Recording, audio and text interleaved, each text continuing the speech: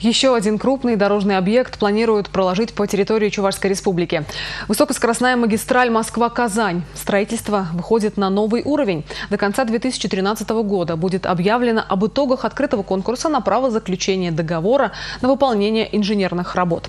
Сегодня глава Чувашии рассказал о важности строительства ВСМ-2. Во-первых, это мечта всех россиян и жителей Чувашской республики. Во-вторых, это вопросы безопасности. В-третьих, это экономия времени. Построенная дорога позволит экономить время в четыре раза между Чебоксарами и столицей Российской Федерации Москва. В-четвертых, на сегодняшний день экономика будет развиваться, дополнительные рабочие места.